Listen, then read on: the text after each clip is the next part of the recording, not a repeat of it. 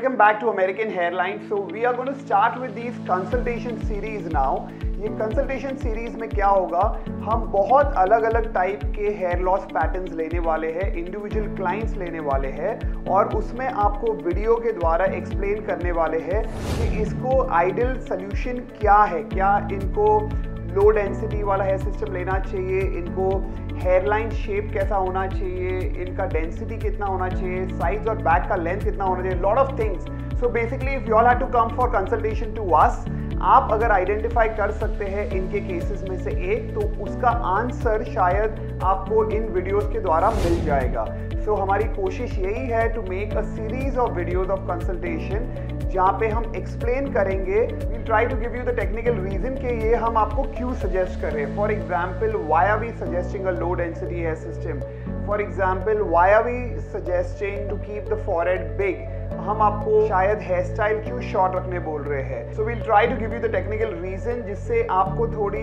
Information मिल जाएगी। इससे होगा क्या कि शायद आप वो क्लाइंट के साथ कनेक्ट कर पाओ और आपको वो टेक्निकल रीजन भी समझ में आएगा कि क्यों हम बेसिकली ये सिस्टम या ये हेयरलाइन शेप या ये डेंसिटी सजेस्ट कर रहे हैं and it will be for you to understand so let's start with our first case his name is Aniket I am going to show you video हम आपको screen पे दिखाएँगे और इसका साइज़ बैक टॉप ये डिस्कस करेंगे। उसके बाद आपको एक आफ्टर रिज़ल्ट दिखाएँगे। सो दैट हम उसको टेक्निकल रीजन भी देंगे कि क्यों हमने ऐसा सब किया है और हम ये क्यों सजेस्ट कर रहे हैं। सो यू कैन सी इनका जो लेंथ है साइड्स पे और बैक पे काफ़ी शॉर्ट है डेंसिटी भी लो है और इनका फ्रंट हेयरलाइन में बाल नहीं है टॉप एरिया में भी थिन हो चुका है और इनके टेंपल एरिया भी रिसीड हो चुके हैं। सो so, अगर आपका सिमिलर केस है what would we suggest is what you're going to see now. So in his case you can see that the front there is absolutely no hair. इनके जो front area में है जो वो बाल है ही नहीं. So obviously if he comes to me for a clip-on, he is not the right candidate for a full clip-on. ऐसे केस में दो चीज़। अगर ये हमारे पास आते कि क्लिप ऑन के लिए, पहली बात हम बोलेंगे इनको कि आपके जो साइज़ पे जो लेंथ है, वो आपको थोड़ा बढ़ाना होगा because it's too short for a clip on hair system also in the front case जैसे ये एरिया में है, ये एरिया में इनके ऑब्वियसली बाल ही नहीं है तो उनको क्लिप लगाने के लिए बाल ही नहीं है। सो मैन जिनको फ्रंट में बाल ही नहीं है या बहुत कम बाल है, और full clip on may not be an option इनके लिए राइट right ऑप्शन क्या होगा? कि साइड्स पे क्लिप्स आएँगे और फ्रंट पे टेप लगाना पड़ेगा. So, when you put the tape in the front and the side and clips on the sides and the back, that would be the right combination for his case. So now let's see the side profile इनका side profile देखते हैं. Side profile में honestly हमने जो किया है इनका size का एरिया भी काफ़ी डेंसिटी लो था तो हमने स्कैल्प माइक्रोपिगमेंटेशन किया है। नाउ बेसिकली स्कैल्प माइक्रोपिगमेंटेशन वो जो लो एरिया जो बहुत स्कैल्प दिख रहा था साइड्स पे, उसको हमने डेंसिटी भर दिया ताकि वो एरिया फुल लग सके। नाउ इनके केस में भी अगर आप देखो तो टेंपल थोड़े से रिसीडेड है। So what we are doing is ये इनका टेंपल एरिया हुआ, जो थोड़ा सा रिसीडेड है। In such cases always remember जो हेयर सिस्टम लगता है, वो टॉप एरिया के लिए लगता है।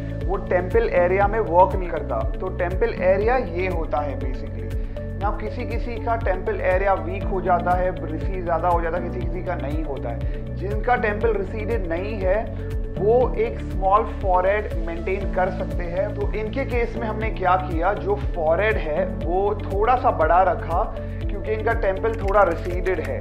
अगर इनका टेंपल बहुत रिसीडेड होता तो ऑब्वियसली हम लोग फॉरेड थोड़ा और बड़ा रखते but definitely we didn't keep the forehead small जैसे आइडियली बहुत सारे देखते हैं कि हमारे ट्वेंटीज़ में हमारा स्टार्टिंग पॉइंट क्या था फॉरेड का, और वो पॉइंट सिलेक्ट करते हैं। That is totally wrong if your temples have receded आपको हमेशा फॉरहेड थोड़ा पीछे से स्टार्ट करना होगा ताकि आपका फ्रंट हेयरलाइन फ्रंट अपीयरेंस जो है that will look way too natural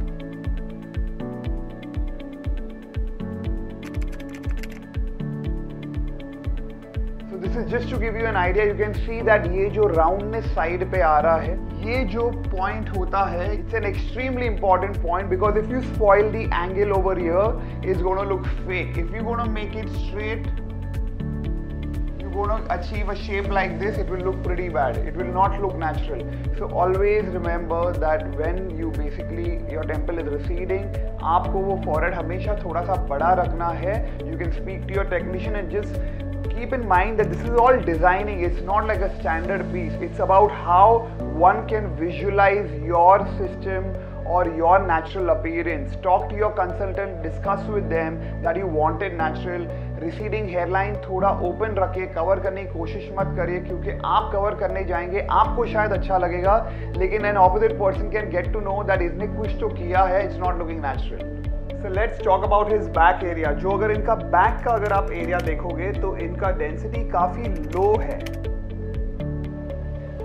अब ये थोड़ा भरा हुआ इसके लिए लग रहा है क्योंकि इनका लेंथ थोड़ा लंबा है। सो ऑलवेज रिमेंबर अगर आपका डेंसिटी साइज़ और बैक पे लो है lot of times what happens is आपको लगता है कि मैं बहुत शॉर्ट कर देता हूँ। शॉर्ट साइज़ और बैक बहुत शॉर्ट रखेंगे और उसके बाद ऊपर हेयर सिस्टम लगाएँगे। I think it's not a good idea हमेशा कोशिश करिए कि थोड़ा लेंथ रखे, क्योंकि वो लेंथ आपको थोड़ा बहुत डेंसिटी देगा, थोड़ा भरा हुआ दिखेगा। क्योंकि अगर आपका डेंसिटी साइज़ और बैक पे लो है तो ये साइज़ और बैक शॉर्ट करने पे वो और लो दिखेगा। So it's not advisable to go very short on the size and the back थोड़ा सा लेंथ रखिए ताकि वो भरा हुआ लगे आपका डेंस लगेगा।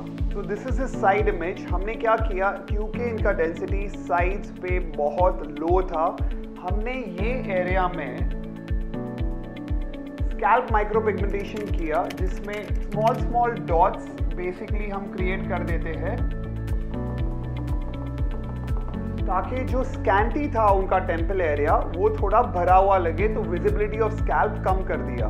सो so, साइज़ में अगर आपका टेंपल एरिया बहुत वीक होगा तो you can also consider scalp micropigmentation अगर आप नहीं जानते स्कैल्प माइक्रोपिगमेंटेशन पे तो you can click on the link above उस पर आपको स्कैल्प माइक्रोपिगमेंटेशन के बारे में जानकारी मिल जाएगी. You will get to know a lot more about scalp micropigmentation So basically it's a technique wherein these thin follicles are created in the area where there's low density. So it's an excellent option if you want to make that area look fuller.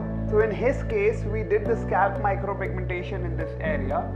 That's why the temple area looking fuller. और उसके बाद हमने hair system लगाया।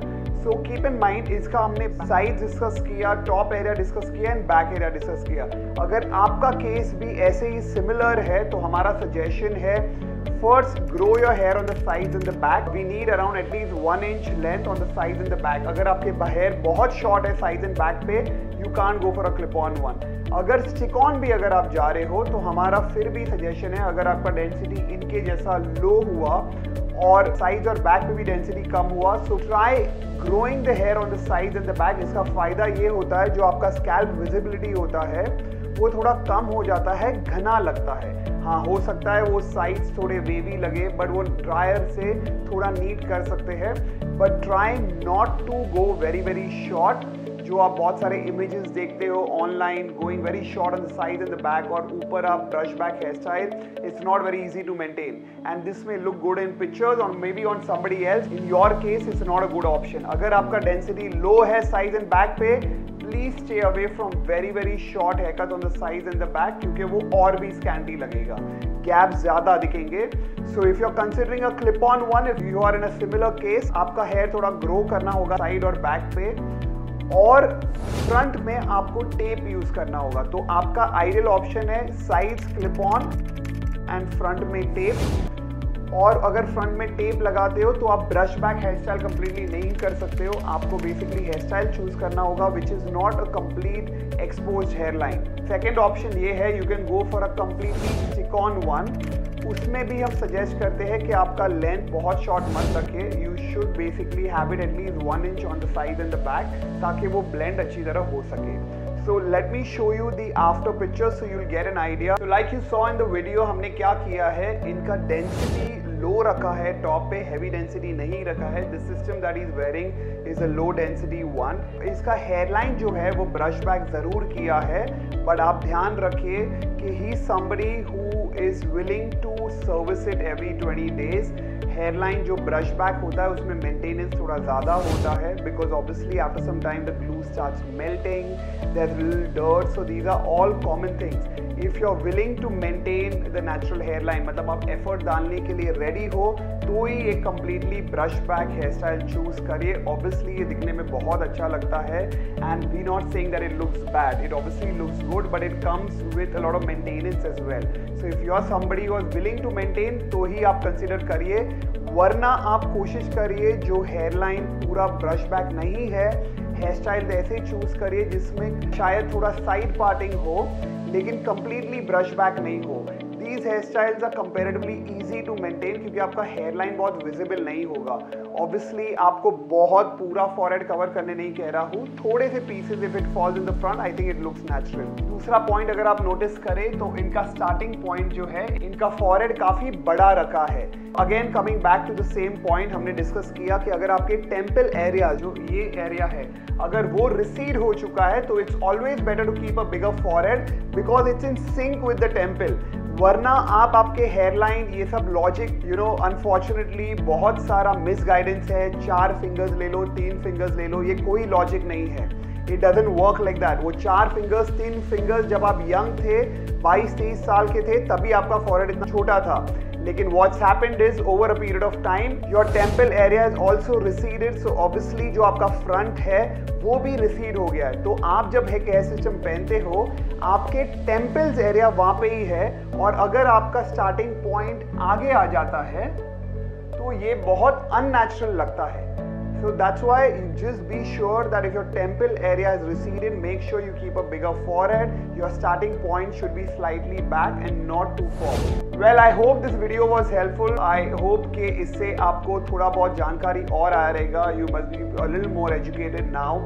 And if you feel that you know if you have a similar case, you can obviously send us your pictures.